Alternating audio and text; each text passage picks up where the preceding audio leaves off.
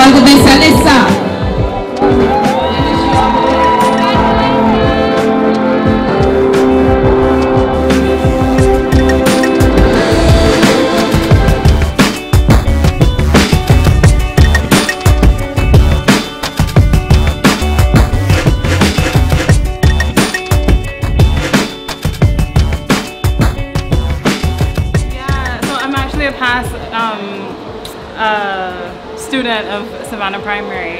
And um, my it was actually my year six teacher that reached out to me to come back and just be here for the kids and wave at them and see them off. And I like I, it, it touched me a lot. Like I really appreciated um, the thought to reach out to me to, to do this and the opportunity um, because I mean here are some of like my favorite memories as a kid. So it's really nice to be back here and so much has changed but a lot really hasn't changed and it's just really nice to be back here.